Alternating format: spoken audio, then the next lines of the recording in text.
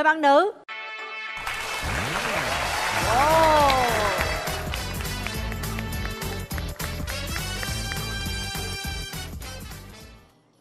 Wow. mời bạn giới thiệu về mình đi À, xin chào anh Quyền Linh, xin chào chị Cát Tường, chào tất cả quý vị khán giả, chào bạn chơi bên kia. Mình tên là Nguyễn Văn Tài, mình đến từ Bắc Giang. Công việc của mình là phó quản đốc một công ty sản xuất ở trên Bình Dương. sản xuất về gì bạn À, đồ thủ công mỹ nghệ ạ. à bao nhiêu tuổi rồi tài À, mình 35. 33 tuổi rồi mời bạn gái giới thiệu Dạ, em à, trước tiên em xin chào chị Cát Tường, chào anh Quyền Linh và chào bạn Nam bên kia và chào toàn thể các quý vị khán giả có mặt trong trường quay ngày hôm nay. Em tên là Đặng Thái Hòa, năm nay em 29 tuổi. Hiện tại em là đang làm giáo viên dạy toán cho trung tâm toán tư duy Hoa Kỳ. Quê ở Hải Phòng. À, hiện tại thì em đang sinh sống và làm việc tại thành phố Hồ Chí Minh ạ. Cô giáo dạy toán. Đừng toán là con số là thấy khô khan lắm mà nhìn đây ướt quá trời ướt không thấy khô gì hết.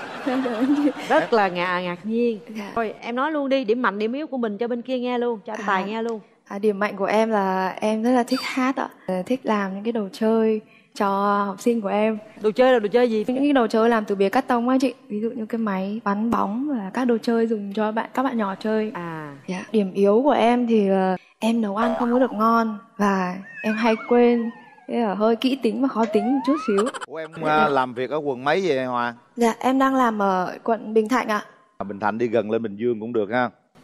ưu điểm khuyết điểm anh tài là gì? À, ưu điểm của em thì nhiệt tình, năng động, có trách nhiệm trong công việc, thích chơi thể thao, bóng đá, bóng chuyền, cầu lông, cờ vua, cờ tướng, đá Wow. cầu.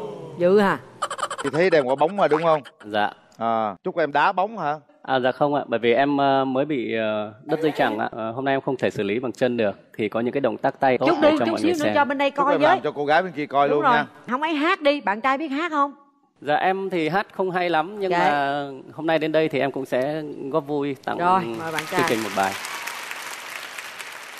Thương nhau tình thắm môi ở nghĩa nồng. Nghe câu hát anh đi tìm đi tìm người hát. Câu hát lý thương nhau. Xin hết ạ. Bạn gái mình đáp lại một câu liền. Dạ vâng thì hôm nay em đến với chương trình thì em cũng chuẩn bị một bài hát ạ góc phố nơi anh hẹn cành ngọc lan xòa bóng mát tỏa hương bát ngát bao với em ngày cuối thu buồn chờ anh bao lâu trong mong mỏi mòn mà chẳng thấy anh. Hay quá. Vị thấy không? Mấy người mà cái giọng trầm khào khào khào nói chuyện tưởng nó hụt hơi nhưng mà hát rất là ghê. Đang say sưa tưởng đâu à, Mỹ Linh hát. hay quá hay quá. Rồi, rồi tiếp tục bạn. Khuyết điểm của em thì ờ, cũng tương đối nhiều nhưng mà em kể những cái khuyết điểm ờ, chính thôi. thôi. Ừ. em thì em hay ngủ nướng. Đứng trước ờ, nhất là những cô gái đẹp là em hơi hơi nhát một chút. Ủa gái, gái đẹp mới nhát còn gái xấu không nhát? tức là cái mức độ nhát nó sẽ nhiều hơn ạ. À, vậy là bữa gái nay càng đẹp càng nhát. dạ Tự hồi cô nhát cỡ nào là biết cô bên kia cỡ nào nha. bữa nay là rất nhát luôn tình À. trường đi anh ơi Tình trường của em á, được mấy người yêu rồi? em thì em trải qua hai mối tình chính mối tình thứ nhất thì em yêu được một năm còn mối tình thứ hai thì ờ, bọn em kéo dài được ờ, hơn 2 năm chia tay gần 3 năm rồi Lý do tại sao chia tay? khi mà cô ấy ờ, quyết định du học ở Nga hay là cô sẽ lập nghiệp ở bên đấy luôn không về À. nữa em thì ờ, tuổi thì cũng cũng lớn rồi nên ờ, không không thể chờ đợi được thỉnh thoảng cô vẫn gọi điện về Ờ, cũng báo hôm vừa rồi thì có báo là có bạn trai rồi và có gửi hình cho em và tả những cái tính cách như vậy xem là em có chấm được hay không Em chấm chưa? thôi em chấm rồi ạ Rồi, đúng rồi. vậy là xong rồi ha Xong Dạ. rồi. tiễn em lấy chồng bạn gái thì sao Dạ, em thì đã trải qua ba mối tình ạ. Thì mối tình lâu nhất là mối tình đầu tiên được 2 năm. Và mối tình thứ hai thì kéo dài được một năm. Mối tình thứ ba thì được 6 tháng thôi ạ. Thì lý do chia tay là anh ấy đi xác định là đi nước ngoài và À, sinh sống cũng ở đi nước ngoài Dạ. hai bạn này trùng hợp quá vậy ta sao có bạn trai bạn gái toàn đi nước ngoài không vậy Thì cả ba mối tình em đều không liên lạc làm gì. à, không còn liên lạc nữa Dạ.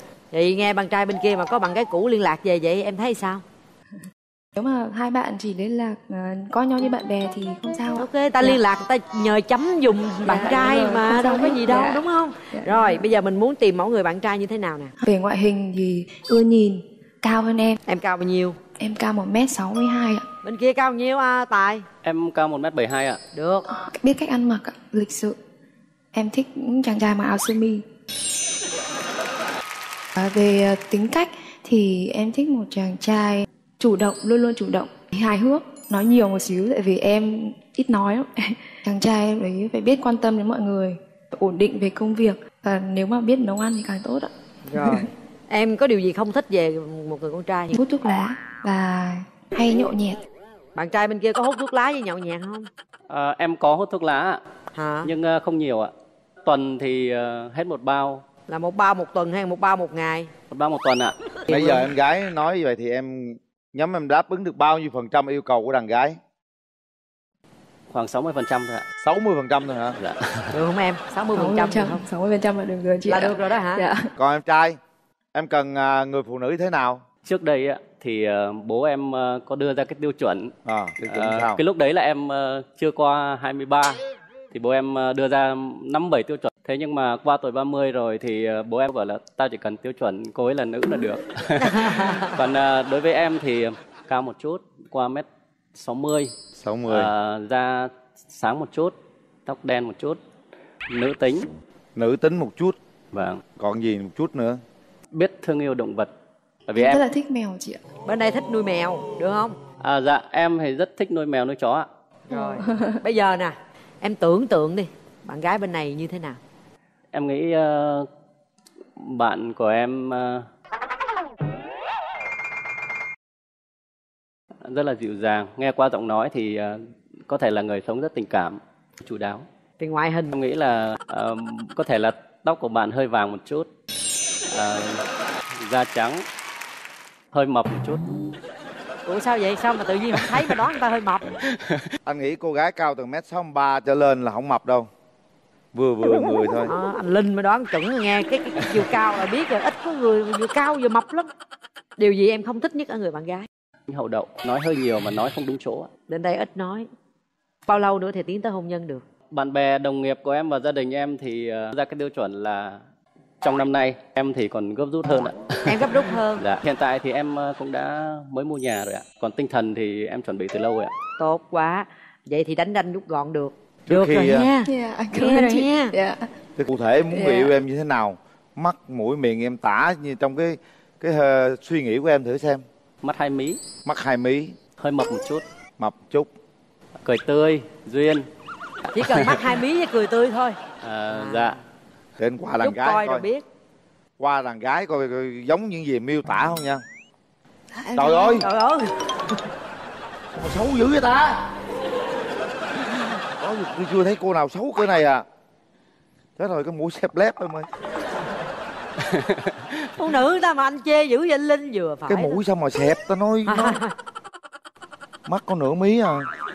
theo em thì ờ, cái vẻ đẹp tâm hồn sẽ quan trọng hơn ạ. Ừ, nói vậy nghe được nè. Đẹp quá, Chào anh. rất là xinh ha. Cảm ơn. À, em có sợ đàn ông đẹp trai không? Nếu mà đẹp trai mà còn lăng nhăng nữa thì sợ đấy ạ. Lấy chồng ông đẹp trai quá là không phải chồng của mình luôn á. Dạ em cũng xin mở. Đúng rồi, tự tin được. Em có ghen không? Nói chung là phụ nữ thì ai cũng phải ghen nhưng mà em ghen ít thôi ạ. Dạ. Gái Hải Phòng ghen dữ lắm đó nha. anh thấy à, cặp đôi này à, đẹp trai đẹp gái như nhau đó nha. Ủa, hồi nãy em nói em ở Bình Dương hả? Em ở Bình Thạnh ạ. Bình Thạnh. Em ở làm ở Bình Dương ạ. À, em ở đó. Thuận An ạ. Ủa vậy sao em mới em nói mới mua nhà là mua nhà ở đâu? Em mua nhà trên Bình Dương ạ. À thế thì bây giờ khoảng cách người thì ở Bình Thạnh người ở Bình Dương nó giống có chữ Bình hà cái chữ Thạnh với cái chữ Dương nó xa nhau Không lắm. nói Bình Dương ngay à, Thuận An em hả? Dạ, ở Thuận ngay cầu vượt sông ạ. à, Bình Thạnh nó gần như nhau á mà. Quen nhau vậy mình gặp nhau được bao lâu mình gặp nhau được một lần. Sếp em thì ờ, rất là ủng hộ em ờ, tham gia chương trình này. Nên ờ, sếp em có nói là nếu mà một tuần sếp em sẽ sắp xếp cho đi ba bữa. ạ. Trời, sếp nào mà chịu chơi vậy tuần cho đi ba bữa hỏi làm việc hả? Dạ. Bây giờ mình xin cái ý kiến người thân đi. Em bạn gái đi với ai? Dạ hôm nay em có đi với bác và các anh chị đồng nghiệp ạ. Rồi, dạ cho gặp bác ạ. Xin chào anh ờ, MC Quỳnh Linh và bà Mai Cát Tường. Dạ. Dạ, chào quý vị khán giả. Tôi là bác của bé Hòa. Chào bạn trai. Dạ, Bác thấy bạn trai bên này thì về phong cách thì bác thấy là cũng chững chạc, cũng được đấy. Còn cái này thì, thì cháu quyết định. Mỗi cái phần ngại là ở xa quá. Bạn nói là một tuần ba buổi nhưng mà rồi đấy là bước đầu. bây Từ giờ từ. nói với cô nghe đó Dạ, anh này khỏi cần hứa dạ. kéo rào ra đó là anh này một tuần ở dưới đây luôn Nếu mà được vậy thì tốt quá. cô tên quyền linh đi Dạ. bạn trai nói gì với bác gái đi nè bác gái cứ yên tâm. À, đối với cháu thì ờ, từ Bắc Giang cháu còn bay được vào đây thì ờ, không có lý gì chỉ có mấy chục cây số mà cháu không xuống được ạ. Hai bạn đồng nghiệp có ai có ý kiến gì không Em chào anh à, MC Huyền Linh và chị Cát Tường và các à, bạn khán giả trên đây. À, em chào à, anh bên đàn trai. À, trong công việc Hòa là một ừm, giáo viên rất là có tâm. Về bạn trai á, thì à, chị thấy là chắc cũng được tiêu chuẩn những tiêu chuẩn của em đưa ra. cảm ơn em cảm ơn bạn. trai đi với ai Em đi với anh trai, ờ, em trai, họ và hai đồng nghiệp của em ạ. Dạ, xin chào ờ, anh Quyền Linh, chị ờ, Cát Tường cùng toàn thể quý vị khán giả trong trường quay. Xin chào ờ, các thành viên của gia đình của em gái. Chào anh. Em họ của anh thì bản chất là rất là tốt, thoải mái, hòa đồng, suy nghĩ chín chắn và có tính tự lập rất cao. Anh thấy em gái bên này đa phần là đúng với cái tiêu chí của em. Và nói với em là em gái bên này rất là xinh gái. Bây giờ chúng tôi sẽ mở rào cho các bạn gặp mặt nha mở rào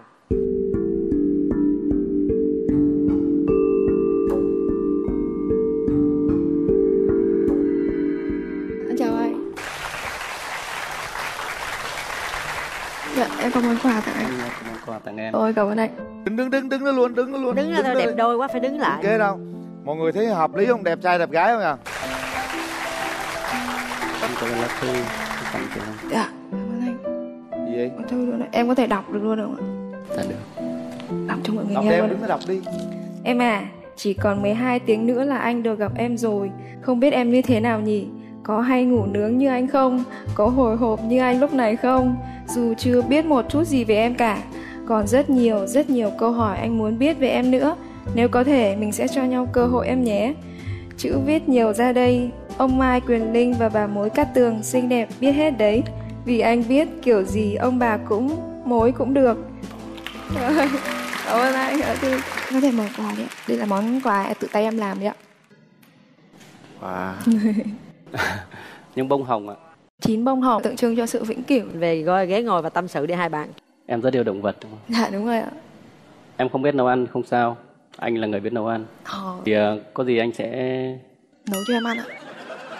chỉ cho em cách nấu. Anh thích chơi thể thao đúng không ạ? ừ, mình rất thích chơi thể thao. biểu diễn em biểu em diễn em là người rất là lười chơi thể thao. Anh sẽ làm động lực để cho em chơi thể thao được không ạ? Chắc chắn rồi. Hôm nay em thấy anh có mang một trái banh, anh có thể biểu diễn cho em xem đúng không ạ? được không á nha Hơi run ạ. giờ không có làm gì được đâu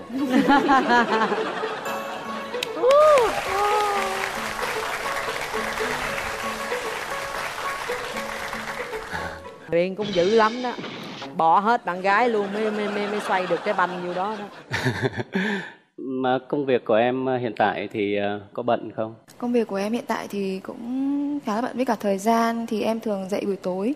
Ờ, Một tuần mình hẹn nhau 6 ngày như anh Quyền Linh nói thì có được không? Anh có thể gặp buổi sáng được ạ. Vậy thì một tuần 3 ngày thôi em Dạ ạ. đúng rồi anh. Cuối tuần thôi anh ạ. dọn nhà xuống đây luôn đi Em quan điểm như thế nào về tình yêu? Hai người luôn luôn có thể chia sẻ với nhau mọi thứ. Em chỉ cần vậy thôi.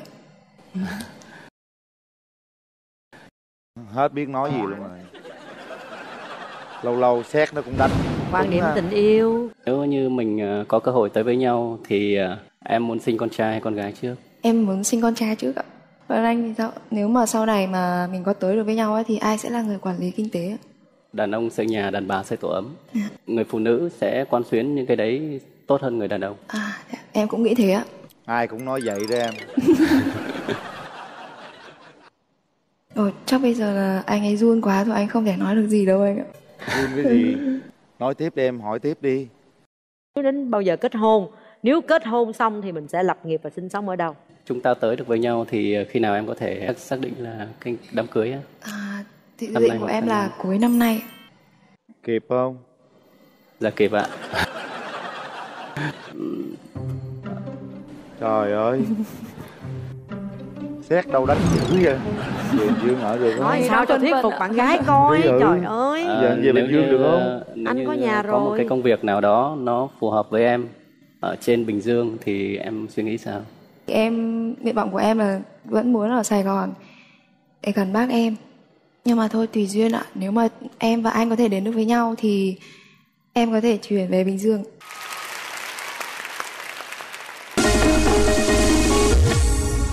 không nói được gì đâu giờ chỉ có bấm thôi. Để tay nút bấm đó các bạn. Giây phút quan trọng đã tới. Bấm nút là đồng ý hẹn hò tìm hiểu để tiến tới hôn nhân các bạn nha một hai ba. Hết thời hết gian thời gian.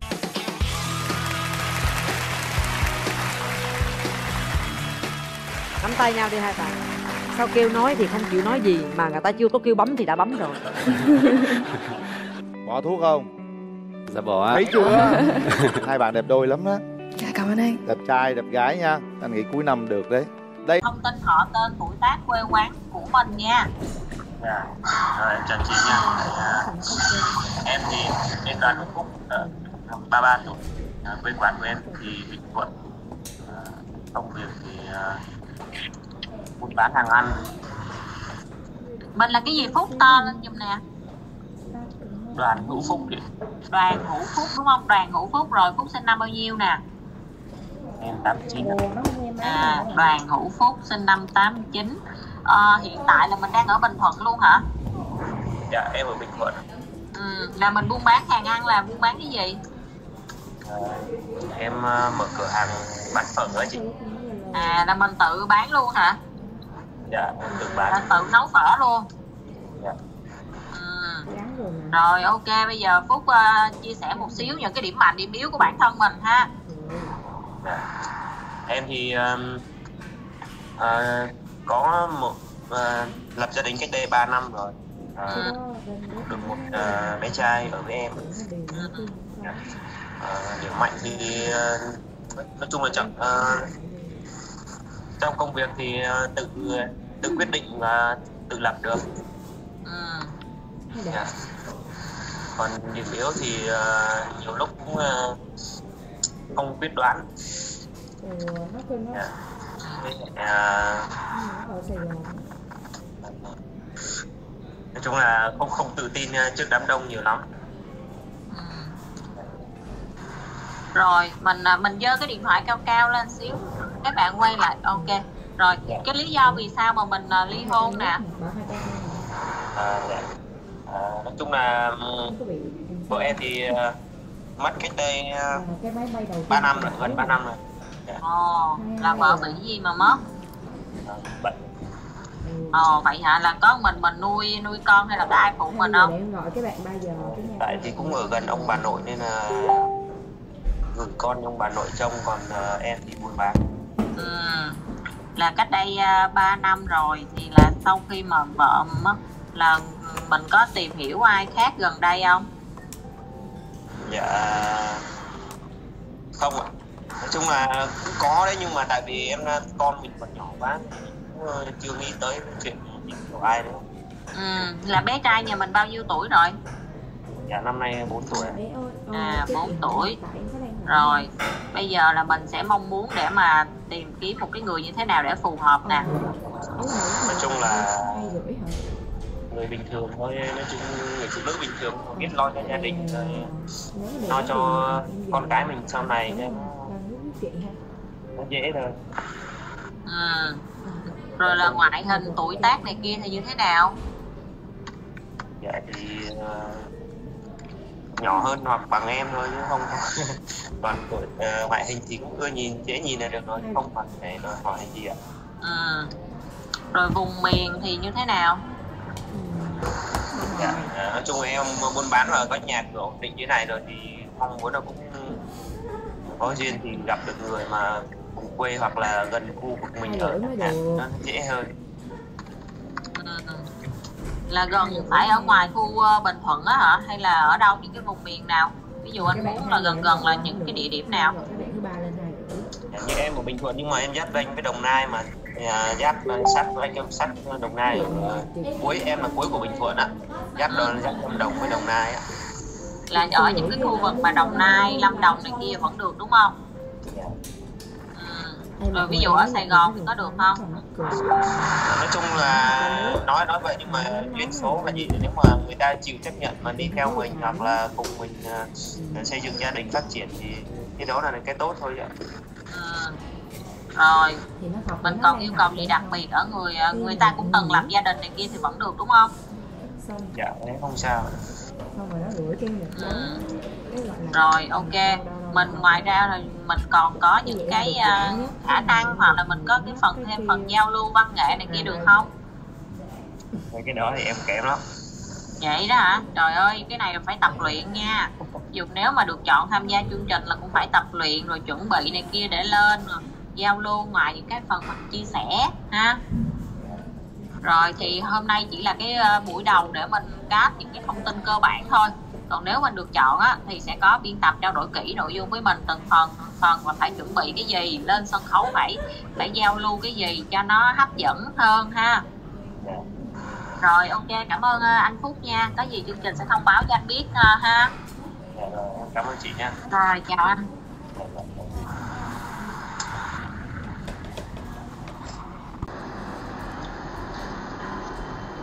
Mời bạn chia sẻ về bản thân mình ha, họ tên, công việc, quê quán của mình, rồi điểm mạnh, điểm yếu của mình nhé. Dạ rồi, em chào mấy anh chị ạ. Thì à, họ tên đầy đủ của em là Nguyễn Lê Minh Hiền, sinh ngày 23 tháng 7 1992. Thì hiện tại thì em đang sống với ba mẹ ở Bà Rịa Vũng Tàu, còn à, đi làm ở thành phố Hồ Chí Minh. Nghề nghiệp của em là chuyên viên bên à, chính sách vận hành của ngân hàng thương mại cổ phần Sài Gòn.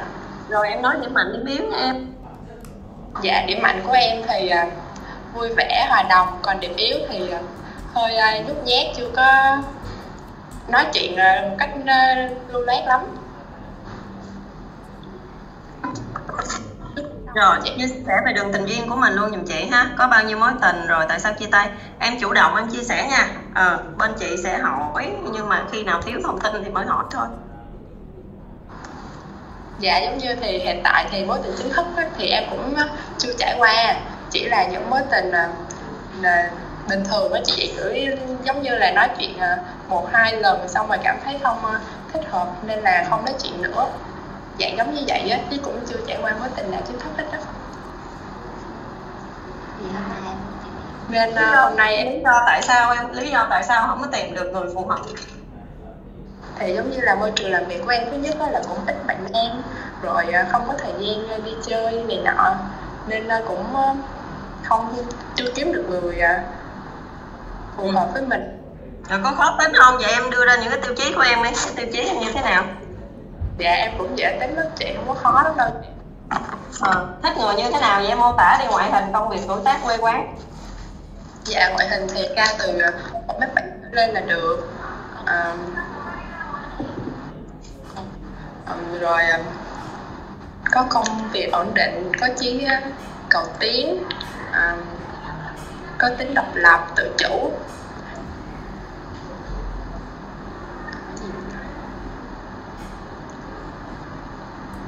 Gì nữa gì nữa? Công việc tuổi tác quê quán tuổi rồi như thế nào? Công việc thích việc gì không thích việc gì hay không? Dạ công việc thì à, giống như em mô tả trong bảng là bác sĩ hoặc là kỹ sư hoặc là tự doanh nếu có. Ừm, rồi mấy người đó ta đi làm công tác suốt ngày em chịu được không? dạ được chị.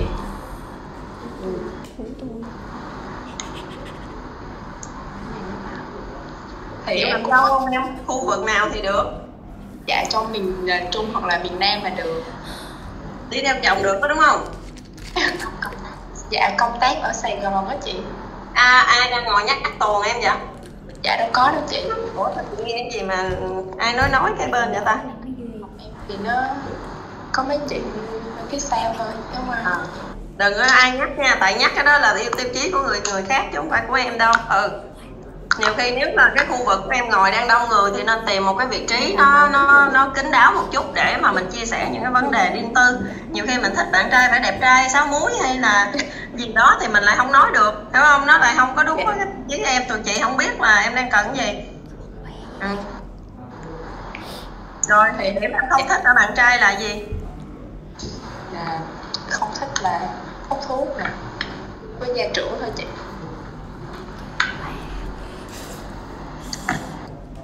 Em chỉ đơn giản vậy thôi chị ơi.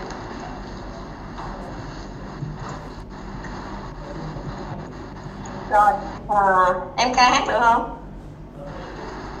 Dạ không chị em hát cũng dở lắm nên là ít khi nào em hát hết vậy có tài lẻ gì khác không? Hồi xưa thì em hay chơi đánh cờ này nọ. Cũng biết thêm một ít à. Còn sau này thì giống như đi làm nhiều quá nên là cũng ờ, bỏ lơi đi cái đó ít, ít chơi lại á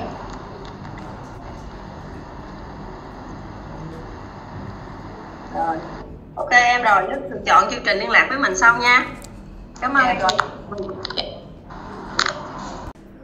16 tháng 11 Tại thì em ở nha khoa tại ờ, quê em thì nội ở em và với lại gia đình sinh sống ở Đồng Nai cũng được uh, 20 năm rồi ạ. Ờ, chị nói lại là chị sinh năm bao nhiêu chị nhỉ? À, 1997 nha chị. Rồi 1997 ờ, à, Mình uh, chủ động chia sẻ về bản thân nhá. Mình cảm thấy là mình có điểm mạnh, điểm yếu như thế nào này. Rồi là à, uh, tình trường của mình như thế nào Mình chủ động chia sẻ cho các biên tập của chương trình biết chị nào.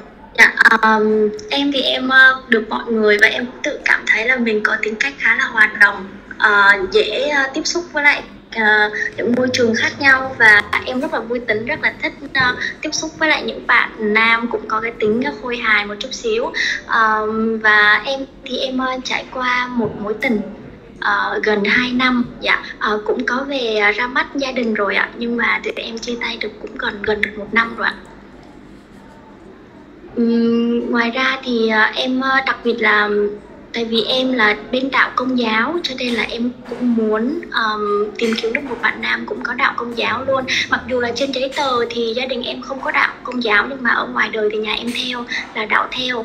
Cho nên là em cũng mong muốn tìm kiếm một người bạn nam có đạo thiên chúa giống em. Và tại vì em là là uh, em cũng không có um, có ý định là sẽ quen các bạn nam ở xa và nếu như mà có thành đôi với một bạn nam nào đó thì em cũng mong tìm kiếm được một người trong tỉnh ở ở gần thôi ạ để um, tụi em cũng dễ có thời gian uh, tìm hiểu uh, và là em là ngành ngành y ngành nha cho nên là nếu như mà tìm kiếm được một bạn nam nào đó uh, cùng với lại trong ngành nghề thì thì càng tốt ạ Mình là hiện tại đang ở Đồng Nai đúng không? Đang làm việc ở Đồng Nai luôn đúng không? Dạ đúng rồi, à, sinh sống và làm việc tại Đồng Nai luôn ạ.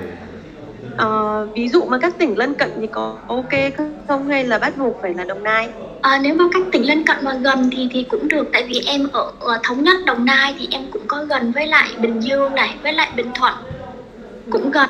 Khoảng tầm nếu như mà đi khoảng tầm một tiếng thì cũng không sao nhưng mà đừng có đi kiểu xa quá 4 năm tiếng mới tới thì nhiều khi này ba mẹ có vấn đề gì thì chạy về kiểu không kịp kiểu vậy đấy chị.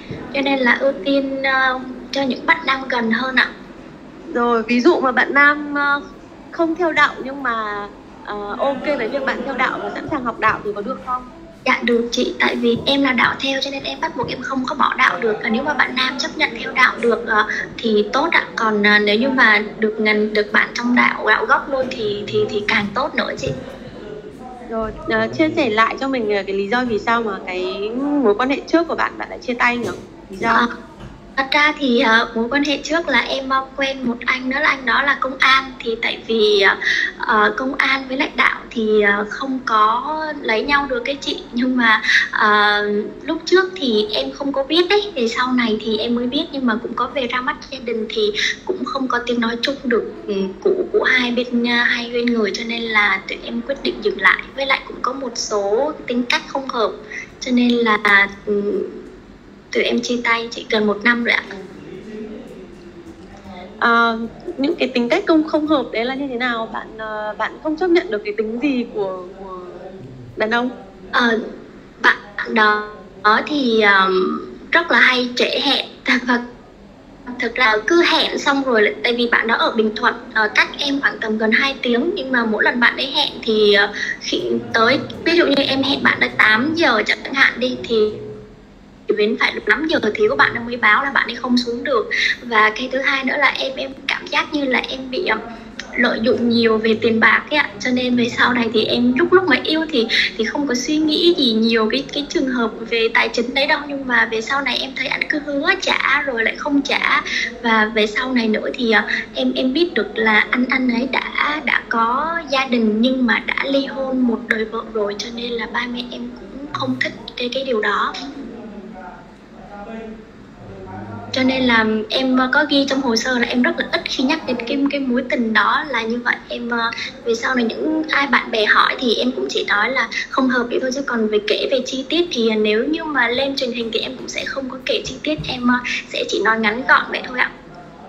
Rồi bạn chia sẻ nhiều hơn về bản thân mình đi là mình có uh, mình có năng khiếu gì không? Mình hát được không?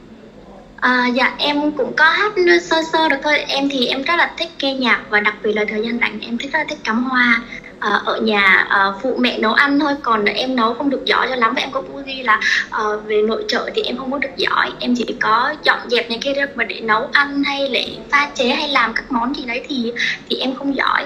Còn uh, về um, um, cái khác thì em uh, ca hát cũng cũng cũng được một một ít thôi ạ rồi hát thử cho các biên tập nghe nào.